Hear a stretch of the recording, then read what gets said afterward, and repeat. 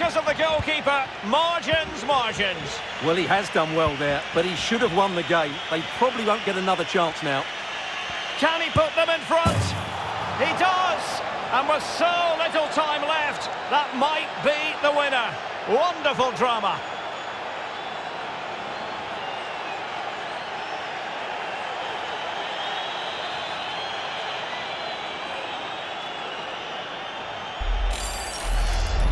Well, here it is again, and it's all about the pace in transition.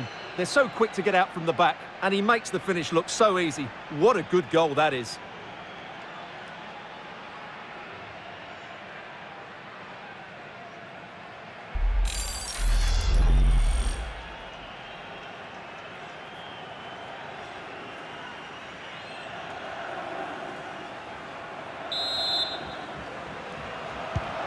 Well, the game has been restarted. 3-2 here.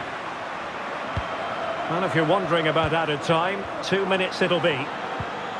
Luca Matarese.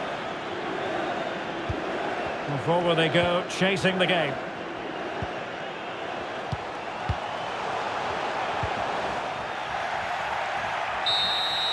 And the referee has blown for full time. It's official now. The champions, there's the whistle, and the celebrations can truly begin in earnest now. They are the champions. And no doubt about it, they've been the best team this season, and they fully deserve this title. What a brilliant achievement for everybody involved with this club.